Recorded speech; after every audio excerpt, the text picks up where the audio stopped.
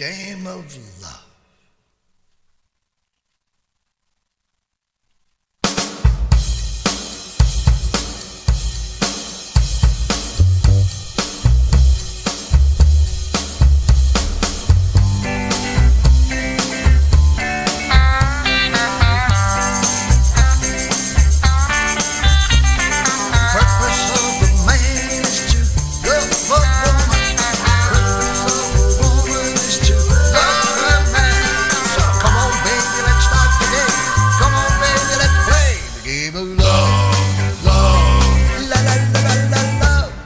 Started long ago in the Garden of Eden when Adam said to Eve, baby, you're for reason. Come on, baby, let's start today.